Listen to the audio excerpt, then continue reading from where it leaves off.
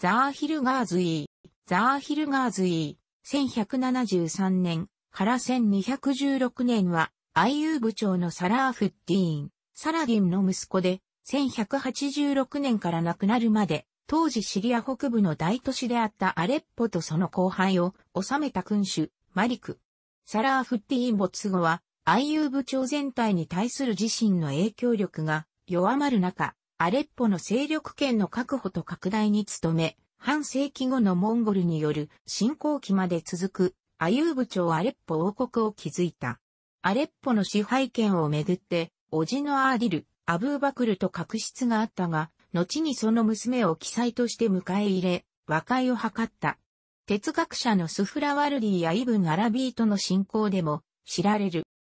後に尊敬を込めて、マリク・ザーヒル・ギアース・ディーン、信仰の守りで、守りの王子の意と呼ばれ、アブーマンスール、勝利の父なるあだ名も得たアブル・ファトフガズイは、アイユーブ朝のスルターン・サラーフティーン・ユースフの息子として、ヒジュラ歴568年ラマダーン月15日にカイロで生まれた。兄にアフダル、アリーとアジーズ・ウスマーンがいる。換算方法にもよるが、ザーヒル・ガーズイの生年月日を西暦に換算すると、西暦1173年4月30日である。父のサラーフッティーン・アイユービーは、ザーヒル・ガーツイーを息子たちの中でも特に気に入っていたとされ、西暦1183年にアレッポの町を手に入れると同時に、この町を彼に与えた。その結果、ザーヒルは11歳にしてシリア、歴史的シリアの中で最大のイクターを所有することになった。しかし6ヶ月後に、サラーフッティーンは、アレッポの統治をこれを所望していた弟のアーディル、アブーバクル、あるいは甥のタキッティーン・ウマルブン・ヌール・ダウラ、シャーハンシー IUB に任せた。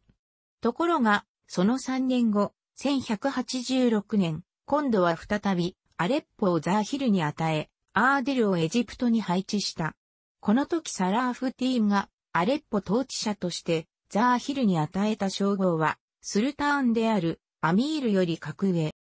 イブン・ハリカーンは、ザーヒル・ガーズイが非常に洞察力に優れた人物であったとして、次のようなハバル、噂話を伝えている。ザーヒルがアレッポに入場した後のある日のこと、官僚たちが城を守る兵士たちを集めて、当時14歳前後のザーヒルの前で、軍籍登録をした。官僚が兵士に一人ずつ名前を聞いて登録簿に名前を記入していたところ、一人の兵士が自分の番になっても名前を答えず、地面に接吻するばかりであった。その男の意図がわからず官僚たちが戸惑っていると、ザーヒルが、その者の名前は、ガーズイーだなと言ったところ、果たしてその通りであった。地面に接吻した兵士は、自分と同じ名前を持つ新しいスルターンへの尊敬の思いから、そのような奇妙な行動をとったという。イブン・ハッリカーンによると、マリク・ザーヒル・ガーズイーにまつわる、このような噂話は、埋挙に、いとまがないほど、膨大にあるという。上述のシリア北部の支配権をめぐる混乱は、ザーヒルとアーディルの間の個人的反目の原因になった。1193年にサラーフッティーンが亡くなると、アーディルがエジプトを政治的中心とするアイブ町内部での発言力を次第に増していったのに、対し、ザーヒルは政治的影響力を喪失していった。1193年から10年弱の間、ザーヒル軍とアーディル軍は小競り合いを繰り返したが、双方ともに勢力圏に大きな変化は生じなかった。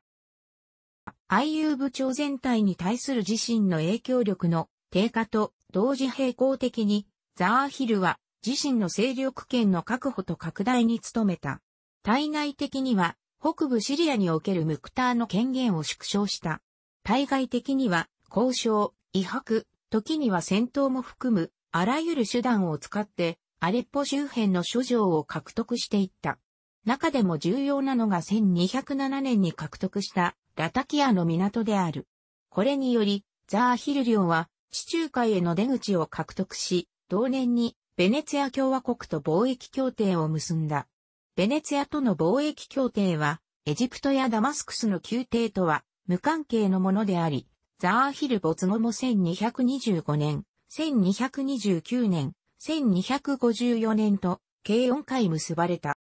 なお、ザーヒル領のすぐ北のキリキアには十字軍国家ではないが、キリスト教国のアルメニアがあり、常に対立関係にあった。1207年に一度だけ、オジャーディル、アブーバクルの仲裁で、アルメアとの和睦に成功した。1212年に、ザーヒルは、アーディルの娘と結婚した。ザーヒルは、アーディル領から旅してやってきた大ファを丁重に、出迎えて歓迎し、公として迎え入れた。